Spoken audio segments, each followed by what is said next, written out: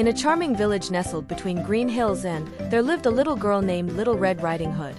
She was called so because she wore a bright red cloak with a hood that her grandmother had lovingly made for her. Little Red Riding Hood's mother called her into the kitchen. Little Red, she said, your grandmother isn't feeling well. Would you be a dear and take this basket of goodies to her? Little Red Riding Hood's eyes sparkled with excitement. Yes, mother. I'll make sure grandma feels better. With a basket filled with warm bread, ripe fruits, and a jar of honey, Little Red Riding Hood set off through the winding forest path. The birds sang melodies, and the leaves whispered secrets as she ventured into the woods. As she walked, she noticed a fork in the path. One way was wide and bathed in sunlight, while the other was narrower and seemed to disappear into the shadows. Little Red Riding Hood hesitated for a moment before deciding to take the shorter, darker path. Suddenly, a voice interrupted her thoughts. Well, well, well, what do we have here? Startled, Little Red Riding Hood turned to see a sly wolf with gleaming eyes. Why, hello, Mr. Wolf, she said politely, trying to hide her nervousness. The wolf smiled, but Little Red Riding Hood noticed his sharp teeth glinting. Where are you off to with such a lovely basket? He asked, eyeing the goodies hungrily. I'm going to visit my grandmother. She's feeling unwell, so I'm bringing her some treats, Little Red Riding Hood replied, unaware of the danger lurking behind the wolf's grin. Ah, how kind of you, the wolf said, his voice dripping with deceit. But do you know the quickest way to your grandmother's house? It's through the forest. Follow me, and I'll show you. Trusting the wolf's words, Little Red Riding Hood followed him deeper into the forest. But little did she know, her grandmother's cottage was just around the Little Red Riding Hood's mother called her to the kitchen. My dear, she said, your grandmother isn't feeling well. Would you be a darling and take this basket of treats to her? Little Red Riding Hood's eyes sparkled with excitement. Of course, mother. She exclaimed, accepting the basket filled with freshly baked goodies, juicy fruits, and a jar of golden honey. With the basket in hand and her red cloak adorning her shoulders, Little Red Riding Hood set off on the forest path. The sun danced through the leaves, casting playful shadows on the ground as she hummed a merry tune. As she ventured deeper into the woods, she encountered a fork in the path. One route was wide and bathed in sunlight, while the other was narrow, winding, and shrouded in shadow. Little Red Riding Hood paused, pondering which path to take. Just then, a sly voice interrupted her thoughts.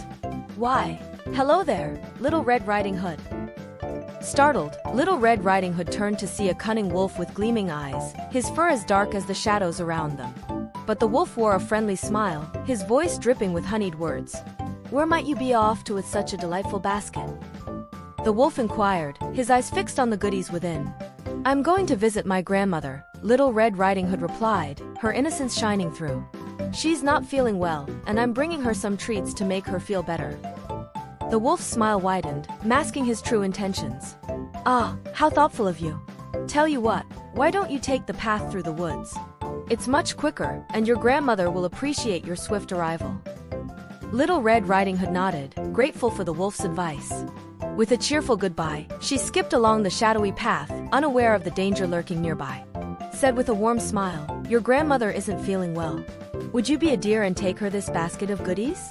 It'll surely bring a smile to her face. Little Red Riding Hood's eyes lit up with excitement. Of course, mother. She exclaimed, eagerly accepting the basket filled with freshly baked bread, plump strawberries, and a jar of honey. With the basket cradled in her arm and her red cloak draped around her shoulders, Little Red Riding Hood set off on the winding forest path. The sun peeked through the emerald canopy, dappling the ground with golden light as birds sang sweet melodies overhead. As she ventured deeper into the woods, Little Red Riding Hood encountered a fork in the path. One trail led straight ahead, bathed in warm sunlight, while the other disappeared into the cool shadows of the forest. Little Red Riding Hood paused, pondering which way to go. Just then, a mischievous voice broke the tranquility of the woods. Well, well, well, what do we have here? Startled, Little Red Riding Hood turned to see a sly wolf with gleaming eyes, his fur as dark as the deepest night. But the wolf wore a friendly grin, his tongue lolling out in a seemingly amiable manner. Hello, Mr. Wolf, Little Red Riding Hood greeted politely, though a hint of caution lingered in her voice.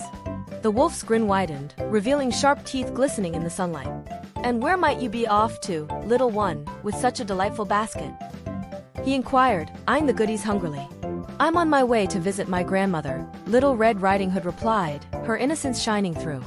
She's feeling unwell, so I'm bringing her some treats to cheer her up.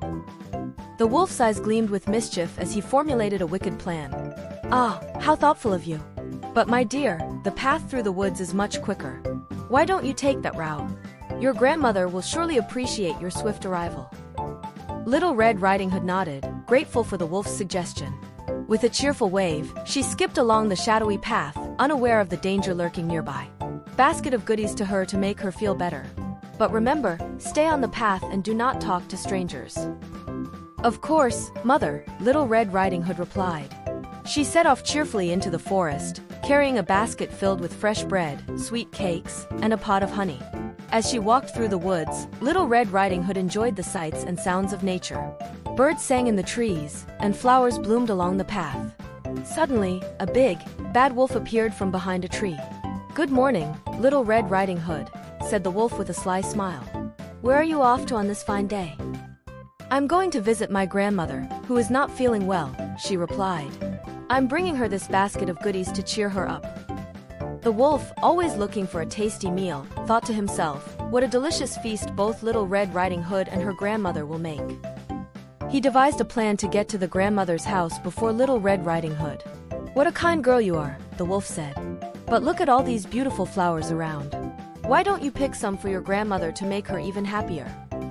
Little Red Riding Hood thought this was a wonderful idea. She wandered off the path, picking a bouquet of colorful flowers, while the wolf hurried straight to the grandmother's house. When the wolf arrived, he knocked on the door. Who is it? Called the grandmother from her bed. It's me, Little Red Riding Hood, the wolf replied, disguising his voice. Come in, dear, said the grandmother. But as soon as the wolf entered, he pounced on her and locked her in the closet. Then he put on one of her nightgowns and caps and climbed into her bed, pulling the covers up to his chin. A short while later, Little Red Riding Hood arrived at her grandmother's house. She knocked on the door. Who is it? The wolf called out, again pretending to be the grandmother.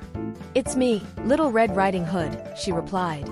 I've brought you some goodies to make you feel better. Just as the wolf was about to grab Little Red Riding Hood, a woodcutter who had been working nearby heard her screams and rushed into the house. With a mighty swing of his axe, he drove the wolf away, rescuing Little Red Riding Hood and her grandmother, who was freed from the closet. Little Red Riding Hood hugged her grandmother tightly. I'm so sorry, grandmother. I should have stayed on the path and not talked to strangers. Her grandmother smiled and said, You're safe now, and that's what matters. But remember, always follow your mother's advice. From that day on, Little Red Riding Hood learned to be more cautious and to always listen to her mother. She and her grandmother lived happily ever after, and the big, bad wolf was never seen again. Little Red Riding Hood's mother called her over and said, Your grandmother is not feeling well. Take this basket of goodies to her to help her feel better. But remember, stay on the path and do not talk to strangers. Of course, mother, Little Red Riding Hood replied. She set off happily into the forest, carrying a basket filled with fresh bread, sweet cakes, and a pot of honey. As she walked along the path, she enjoyed the sounds of the forest, birds singing, leaves rustling, and flowers blooming along the way. Suddenly, a big, bad wolf appeared from behind a tree. Good morning, Little Red Riding Hood, said the wolf with a sly smile. Where are you going on this fine day? I'm going to visit my grandmother who is not feeling well, she replied. I'm bringing her this basket of goodies. The wolf entered and, in a flash, gobbled up the old lady. He quickly put on her nightgown and cap and climbed into bed, pulling the covers up to his chin. A short time later, Little Red Riding Hood arrived at the cottage. She knocked on the door. Who is it? Called out the wolf, imitating grandmother's voice.